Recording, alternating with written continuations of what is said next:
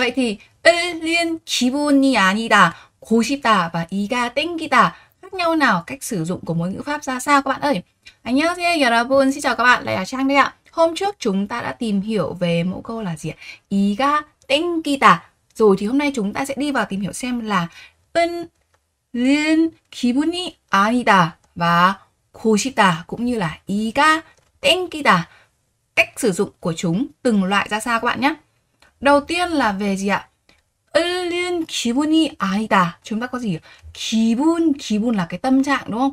아니다, 아닙니다. Không phải là cái tâm trạng để làm gì. Nghĩa là gì? Không có tâm trạng làm gì. Các bạn nhìn vào từng ví dụ tới đây nhé.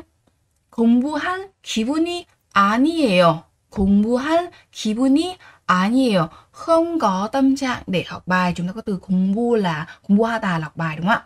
Và 영화를 볼 기분이 아니에요. Không có tâm trạng để xem phim, không muốn xem phim. 영화를 볼 기분이 아니에요.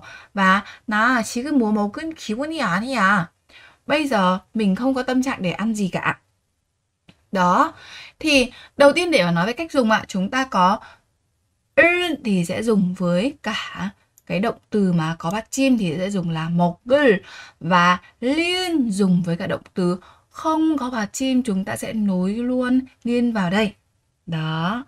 Và nó được dịch là không có tâm trạng để làm gì thì không có tâm trạng này có thể cho hành động này. Đó, hành động về những cái gì ạ?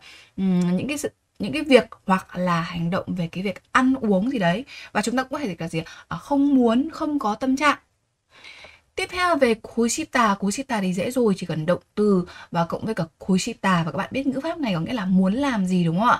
Theo dõi những ví dụ dưới đây chúng ta có là gì ạ? 공부하고 싶어요. À, muốn học bài và chúng ta nếu mà muốn phủ định thì chỉ cần là gì 공부하고 싶지 않아. 공부 쉽지 않아. 쉽지 않아요. 영화는 보고 싶어요. 영화는 보고 싶지 않아요.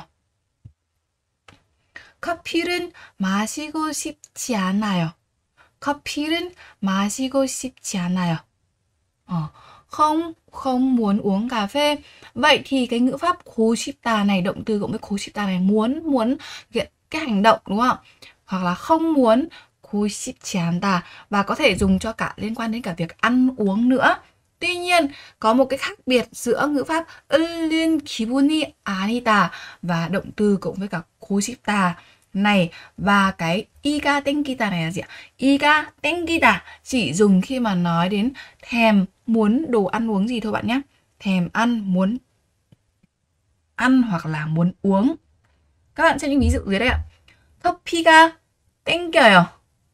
과일이 땡겨요. muốn uống cà phê thèm cà phê muốn ăn hoa quả thèm hoa quả. Và chomegi kiểu thèm uống rượu trộn với bia. Chúng ta có một cái từ là từ gì ạ? Từ chomek chomek này là à, uh, soju cộng với cả mekju được viết tắt thành là chomek uống rượu trộn với cả bia các bạn nhé. Chomegi kiểu thèm rượu trộn bia. Và có một cái sự khác biệt nữa là gì ạ? Uh, liên hoặc là khối ship kushipta phía bên trên thì nó sẽ là gì ạ? Là cái tiểu từ liên. Còn ở đây tenkita sẽ cộng với cả ik ik tenkita. Và các bạn nhớ rằng là tenkita chỉ dùng cho để muốn ăn, muốn uống một cái điều gì đấy thôi các bạn nhé.